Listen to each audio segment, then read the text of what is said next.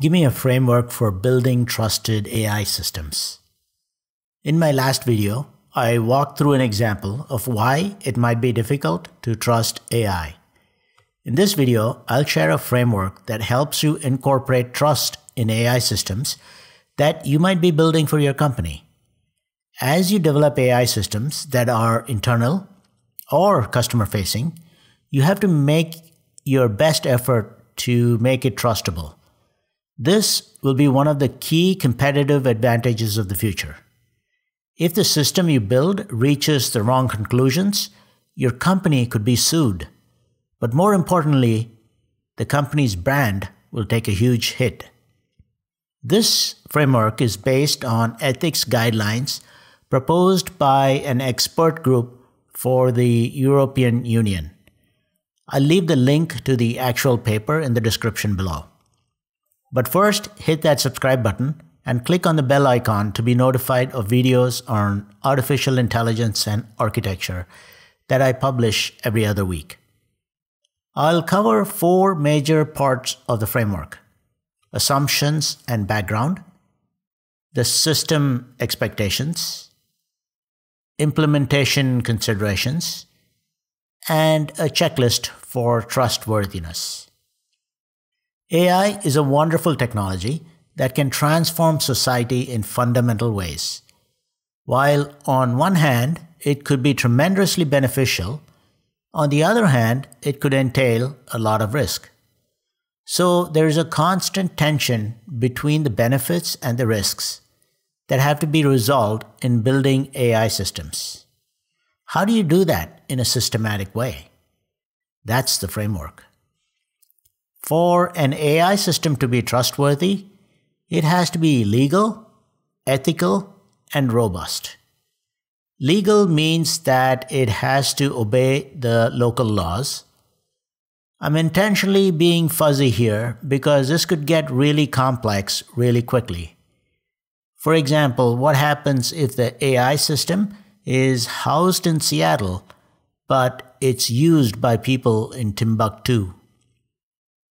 The definition of ethical is also fuzzy, but I generally mean that the system should adhere to human values and do the right thing.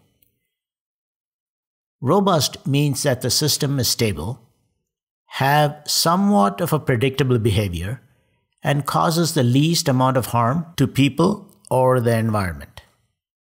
Yes, these are difficult to define, and right off the bat, I'll tell you that it's very difficult to build trustworthy AI systems. Still, let's go forward with our attempt. We will need a general framework that's applicable across all kinds of models. And then we can fine tune them based on the context. For example, when it comes to either food safety or nuclear environments, we require the systems to be more trustworthy than, for example, when the system is used for movie recommendations. This framework is based on the foundational notion of democracy and individual human rights. One of the reasons this is important is because we can only talk about ethics in this context. In repressive countries or those with limited freedom, the topic of AI ethics does not even make sense. Imagine a human who is in a certain environment and is connected to other humans. This could be in a social setting, such as consumers of government services, or it could be in a business setting where the human is an employee. This human may interact with an AI system and get both benefits from the system as well as assume some risks. For example, you're using AI when you do a Google search. You're using AI when you use maps to navigate. And you're using AI when you use Grammarly to check for spelling and grammar errors. In many other complex environments, though, the AI is part of a larger process. For example, when, as a consumer, if you apply for a loan, you're going through a process, filling out the app, getting a decision that's really determined by AI system behind the scenes, and then getting the money. Likewise, a doctor may use an AI decision support system to treat his or her patients. The AI system needs to adhere to certain constraints that are human centric. For example, it cannot take away the basic human freedom or manipulate human behavior, thereby respecting human autonomy. It has to treat each human with equal rights, and that includes children, disabled people, minorities, women, etc., without an unfair bias. It cannot take away meaningful work from human employees. It cannot cause harm to humans, and it should allow for humans to control and manage it. It should not cause an asymmetry of power between, say, an employer and an employee, or a citizen and the government. And stakeholders should be able to explain its decision behaviors when required. Sometimes there may be tensions between these principles, and such tensions have to be resolved in an optimal way. If they cannot be resolved, then the system should not be deployed. The requirements for realizing a trusted AI falls into three broad categories. One is human-centric, the other is technical, and the third is legal. On the human centric aspect, we want humans to have oversight over AI. Humans are the master, and AI should be subservient. When the system does not work as expected, the human should be able to shut it off, whatever that means. We need to ensure the societal and environmental well being, unbiased treatment, fair and diversity of representation.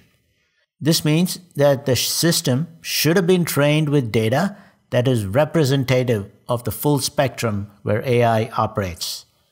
For unbiased behavior, we should ensure that the data used to train the AI system is not skewed, as well as bring people of different and diverse backgrounds to design and build the system. Fundamental human rights cannot be compromised. For fairness, we should adopt universal design principles that ensures that people of different abilities can use the system in the same way. On the technical side, we want the system to be robust and resilient against attacks, reliable and accurate, and reproducible. If the system is compromised or behaves erratically, we should be able to bring it back to a safe state. We also want the data privacy to be respected and governed properly. The quality of the data should be high and access to the data should be controlled. On the legal side, we want the system to be transparent and explainable and auditable for its actions so any errors can be explained or corrected. Its behavior should be independently auditable. The system should not misrepresent itself as a human, and humans need to know if they're talking to a system. In reality, trade offs have to be made, but such trade offs should follow well written guidelines so decisions about compromises are not made in a haphazard way. Here are the major steps in building AI systems. Actually, we're only talking about machine learning systems, which is a large part of general AI systems. Gather relevant data. This can be an enterprise wide exercise and involves data cleansing and feature engineering. In the training step, we use data to train different types of models and explore the parameter space to see which parameters give the best performance. And then in the testing step, we validate the model with the data that the system has not yet seen to ensure that the model can generalize over data and reduce errors. Deploying the model is a big step because we have to make choices about the deployment environment, about packaging the model to handle scalability, security, and many other considerations. For example, we may decide to deploy the system on the cloud scale using containers, and package them in a way to handle large volumes of requests when they happen by autoscaling. Finally, in the monitoring step, we continue to observe the behavior of the system. If the system is self learning, then it may learn from new data, but that could also cause model drifts, which may or may not be desirable. Monitoring will help us look for erratic behavior and determine if the system has to be retrained on new data. In each of these stages, we need to apply some basic requirements for trustworthy AI systems. Different stages of this process require different guidelines to make the system trustworthy. For example, data has to be unbiased. The model should be designed with privacy and security built in and proper access controls. Testing should be done with real data and with a diverse group of people as much as possible.